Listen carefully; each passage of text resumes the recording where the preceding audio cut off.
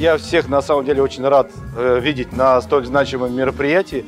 Это уже четвертый винный гид ежегодный. В этом э, выпуске появились уже игристые вина. Ну и, конечно же, открытие новой страны Армении э, в виде винодельческой, так как мы ее все знали как коньячную.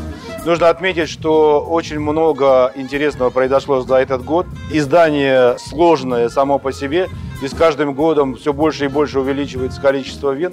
А, все больше и больше приходится дегустировать, как много хорошего, так и очень много плохого. Вот поэтому а, пока я жив-здоров, пока я здесь, так что все нормально, значит, российское виноделие у нас идет вперед семимильными шагами.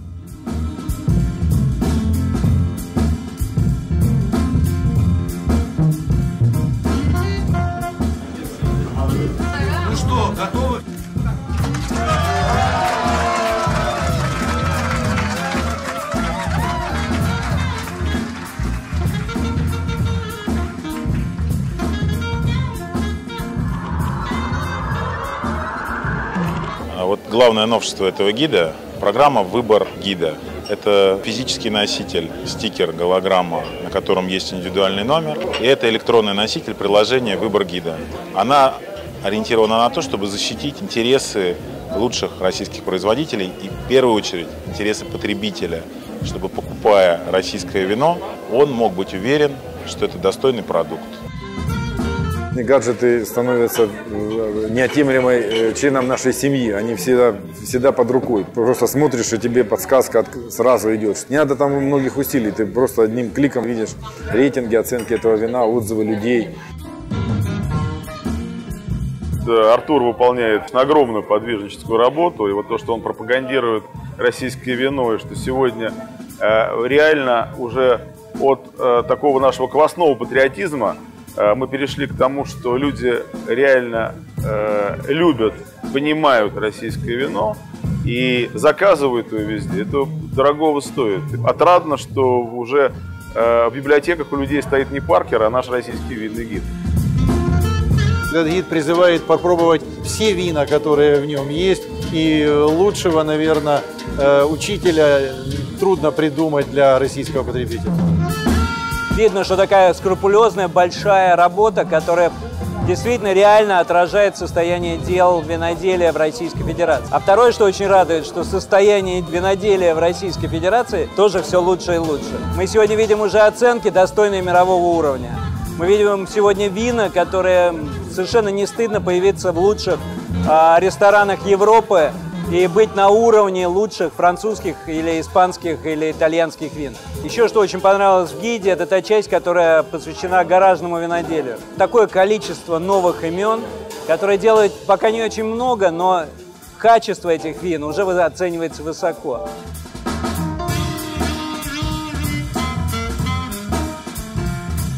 В 2016 году я могу точно сказать, что сотрудничество компании Metro Cash Carry а, с Артуром Саркисяном, а, наверное, будет реализовано на 100%, потому что мы впервые будем прям конкретно представлять в каждом торговом центре эту книгу.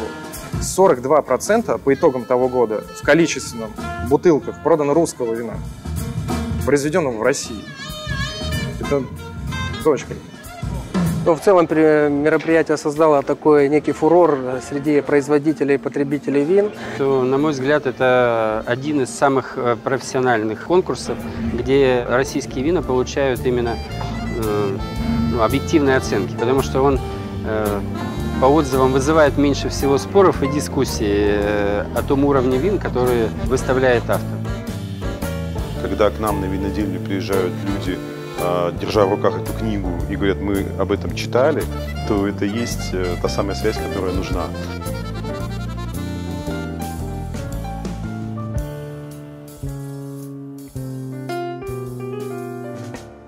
Подход э, на самом деле не вызывает сомнений у производителей. И для российского вина, которое э, на сегодняшний день э, не может рекламироваться в прессе, в СМИ а, так широко, вот этот гид это одно из немногих возможностей себя правильно представить. Для потребителя всегда важна инструкция по применению. Вот самая прямая инструкция по применению. Э, Читайте и пробуйте, и будет счастье, будет очень вкусно.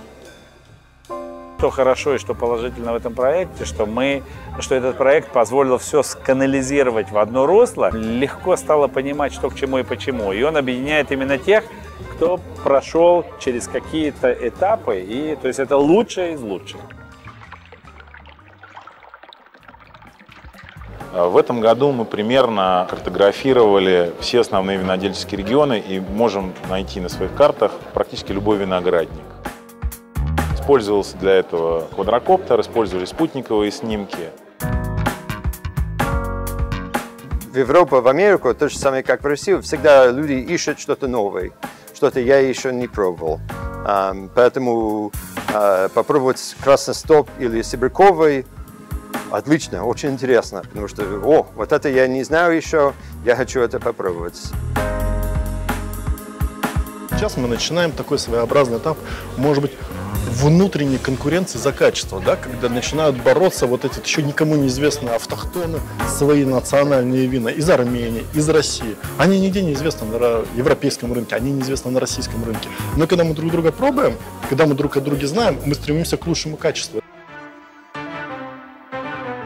Гид показал э, российскому потребителю и, профессиональному э, миру, что э, Армения – это винная страна. И с этой точки зрения работа Артура Саркисяна имеет неоценимое значение для армянских вин.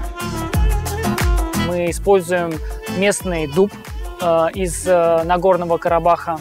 Мы используем также традиционно армянские амфоры – мы возрождаем традиционное армянское виноделие в новом инновационном э, таком формате.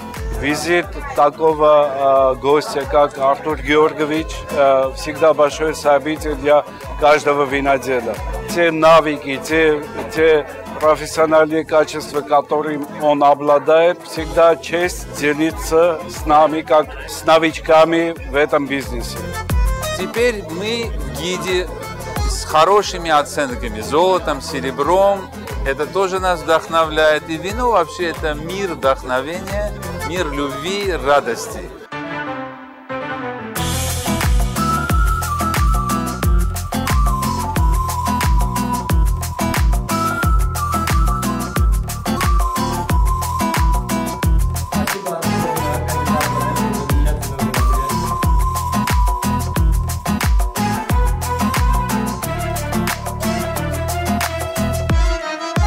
Потрясающее событие. Здесь собрались правильные винные люди, а я верю, только хорошие добрые люди могут сделать хорошее вино. Винный гид Армении – это симулятор развития вина, развития виноделия, развития виноградарства и вообще-то развития культуры.